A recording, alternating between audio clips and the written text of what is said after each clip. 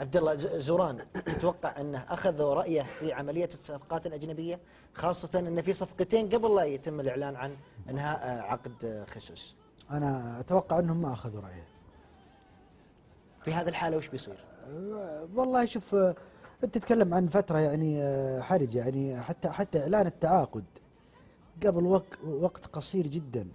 من إغلاق الفترة الشتوية. أربع أيام باقي. إيه، أنا أحس انها خروج من مأزق خطر إن زوران يتدخل لأنها معروف بأنها يعني أه، له تجارب أه، غير جيدة في السمسرة يعني بجلب لاعب آه، اي جاب لاعبين آه، يعني استفاد من وراهم.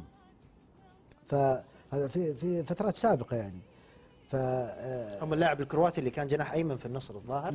بس توماسوف. بس يعني كان مادي مستوى جيد. بس مو قد ما تأقلم. مو قد فشوف الآن الهلال أكثر أكثر نادي قاعد آه، يسوي تعاقدات من سوريانو إلى الأسترالي المدافع الأسترالي المدافع الأسترالي.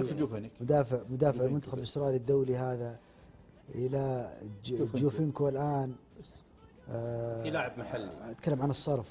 إلغاء عقد خس صرف المال يعني. القاء عقد اللاعب المحلي هذا عقده للحين في ذمة الشباب ما دخل فترة الحرة. طيب إلغاء الغاء. عقد المدرب إلغاء عقد المدرب آه، خيسوس تكاليف الشرط الجزائي التعاقد مع مدرب جديد.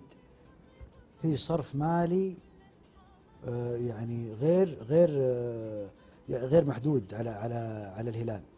صراحة يعني يعني أنا ما أتوقع إنه في نادي بيقدر يصرف زي ما يصرف الهلال الآن.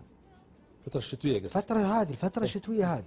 الأندية ما- ما- تع- في تعاقدات في تعاقدات. الاتحاد يمكن تحرك في فترة معينة لكن نشوف الهلال يمكن أنا ما أتكلم عن 11 مليون يورو هذا جوفينكو قالوا 7 مليون دولار في لا ست ياخذ آه، را- عشرة راتبه.